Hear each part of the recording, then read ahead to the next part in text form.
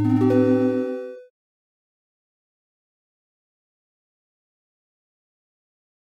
there, and welcome to the uh, the end of week six. So we're going to work through the project in this video. Um, so hopefully you've already read through the um, input tutorial or watched through the input uh, video, and you now know how to create um, interactive sketches in P5JS. So to practice that, you are going to create an interactive sketch. So what I'm looking for in this project is at least five input variables or functions. And to sort of refresh your memory on what those are, um, best place to look is the P5 reference and then check out the events section, which is uh, sort of towards the bottom. Um, so in the video, I talked about a few mouse uh, variables and functions, and then a few keyboard uh, variables and functions, but there are other types in here. So for example, I'm pretty sure acceleration is for like a phone. A phone has like an accelerometer in it, which measures like the orientation of the screen. So I've actually never played with that myself, but that could be a fun thing to, to play with. Um, or similarly, there's like um, for touch screens, you can get like multiple touches. That might be fun to play with, but it's also totally fine to stick with the uh, mouse and keyboard uh, event variables and functions. There are plenty to choose from, so um, pick five of them and and just kind of kind of explore them uh, in this project. So how I would start is first of all, maybe just read through a few of these to get a sense of what your options are. So for example, like what is this P mouse X thing? And you know, maybe click through it and um, and familiarize yourself with it. So I'll maybe check it out and okay, it looks like I can move across move the mouse across the canvas to leave a trail and okay, I'll do that. And you know, that's kind of cute, kind of kind of fun, kind of trippy and that might be inspiration to to use this particular variable or uh, I don't know let's see like uh, mouse wheel for example. Maybe I'll click in that and just see kind of how it works. And um, this is kind of goofy because my, my mouse wheel is uh, locked to the outside of the screen but um, you can kind of see it if I try to keep my mouse in. Actually let me move all of this into the editor so I can kind of look at it over there so I'm just going to paste the example code just so I can run it and play with it. So now I can maybe move my mouse wheel to, um, it looks like I'm resizing a uh, square. So might be something to play with. Um, I think my my mouse wheel kind of clicks to uh, like larger uh, blocks, so maybe this example isn't great for my mouse. But anyway, click around and, and explore the, the reference to get a sense of the kinds of things you can do. That's how I would start. That's step one. Uh, the next thing I might do is check out uh, the examples section of happycoding.io, go to p5.js, and then scroll down to um, input. And there are a few examples here so I'll choose one kind of randomly. Um, mouse ripple, for example, uh, this code kind of mixes a couple things. It mixes some concepts we learned last week with animation with some concepts we learned this week with um, input and um, combines them into one thing. So now I can click around in my canvas to show an animation where I click. So let me click there and you see that there's kind of this ripple effect. It's kind of like you're looking at water, maybe. Um, I can click around a bunch of times and uh, you kind of relocate the center of that animation. Um, so you can click around in these examples to get kind of a sense of the kinds of things you can do. Maybe that will help with, uh, you know, spark some inspiration. Or I gave you some example code here as well that you can check out. So paste that into the editor and play with it and I'll run that. And uh, looks like if I press my mouse, then I draw sort of a random colored circle. And if I press my key, then I clear out the previous frames by calling the uh, background function. So these are just some examples of things you can do, but I encourage you to to come up with something yourself and you know get creative. So how I might do this is I might, you know, first of all, like I said, click around and I might kind of pick a few. Uh, I haven't done that ahead of time, to be honest with you, so I'm going to do that like right now. Um, I might, you know, maybe I'll just stick with kind of the old reliables because my guess is that most folks uh, watching this are going to want to stick with kind of the the the ones that they're most comfortable with. So I'll probably stick with mouse X, mouse Y, maybe key or key code, maybe mouse pressed, key pressed, you know, that kind of thing. Um, and then maybe I will, you know, I have a few ideas. Maybe I'll make like a simple like paint application. So kind of similar to Microsoft Paint, but instead of clicking around in, in Microsoft Paint, I'll be clicking around in my own sketch. You know, maybe that'll be fun. Um, few ways I could do that. Maybe I can like click around in the keyboard to like change the color, or maybe I even want to go with size. Um, yeah, I mean, let's try size. Let's just see how it goes, and we'll see if it uh, ends up working or not. Uh, so, the first thing I want to do is maybe I will always draw like a circle at at the mouse position. So first of all, I've, I've opened up the P5 Editor and I have my handy uh, gray canvas. Let me start by drawing a circle at mouse X, mouse Y, and maybe I'll give it a size of, I don't know, 25 or so.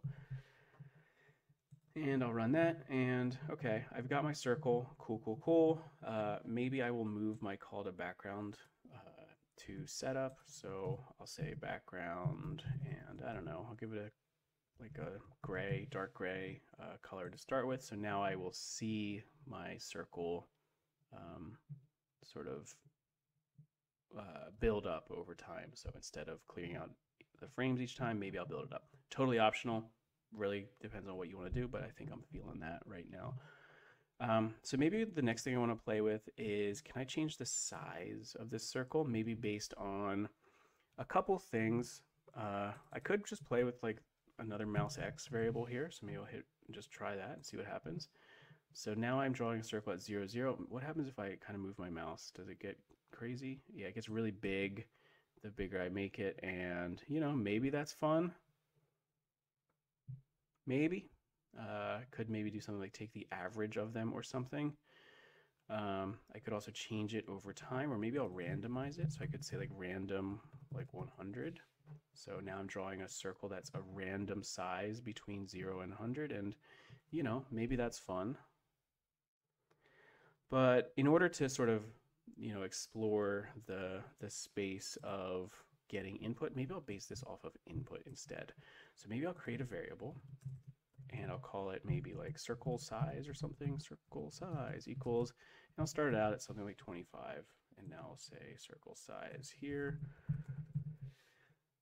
Um, so now this is getting kind of at the idea of like my my sketch has a state. In this case, it's a circle size variable, and it's always 25. So now what will happen if I like change this? Maybe I'll change it in like a key pressed function. So function key pressed and I'll say maybe if, uh, and you know, I kind of know these ahead of time, but if I didn't remember ahead of time, like what uh, function to define or what variable to use, again, the P5 reference is always your best friend.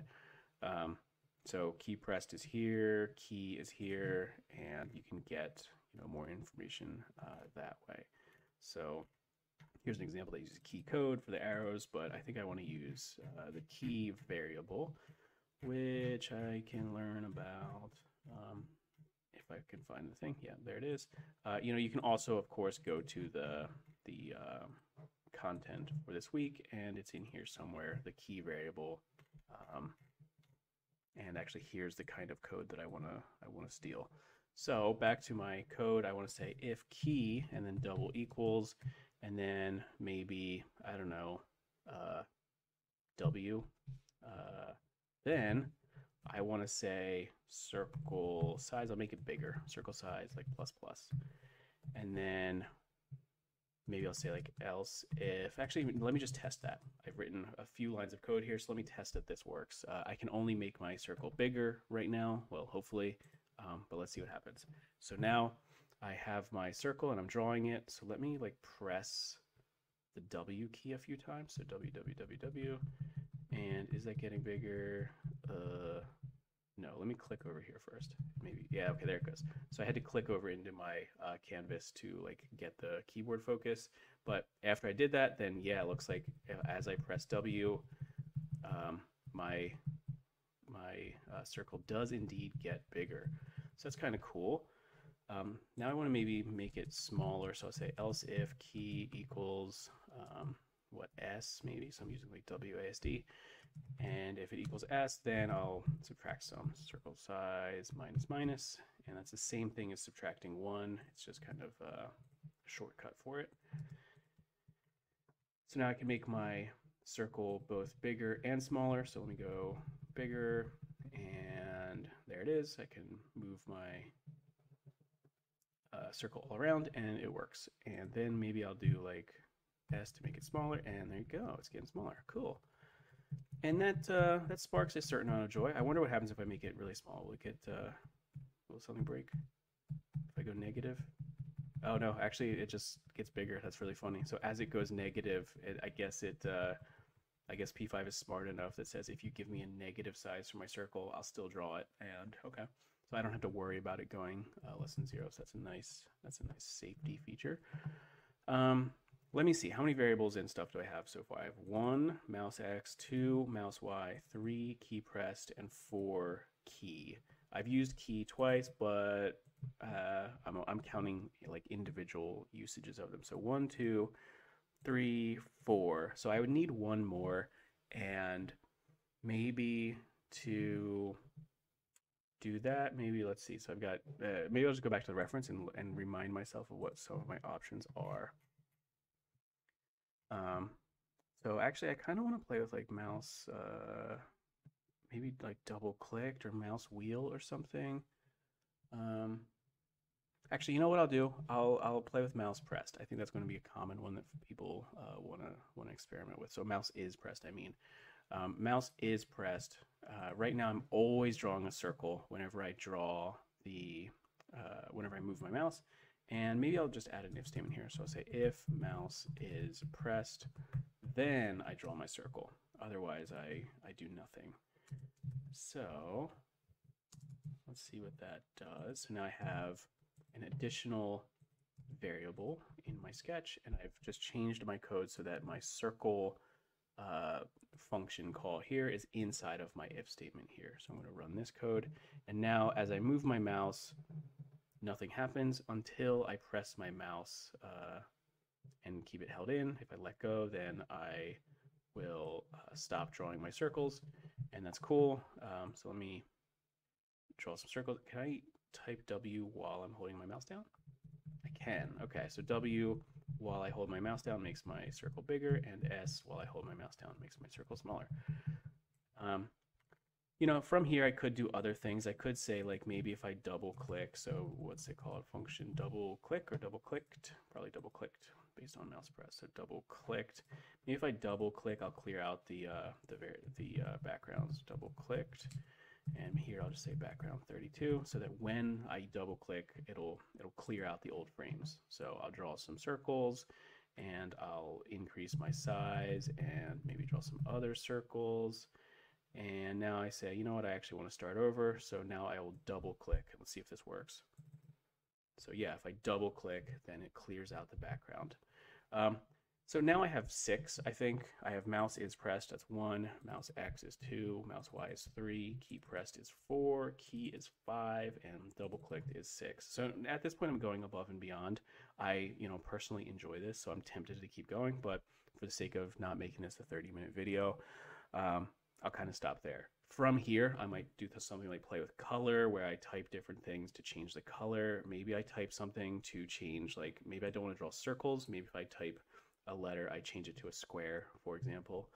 Um, I could get into like other advanced um, techniques, like where I click in one place and then I click in another place to draw a line instead. That's doable based on you know stuff you know. You would use variables to store the the first click, and then on the second click, you would draw from the first point to the second point.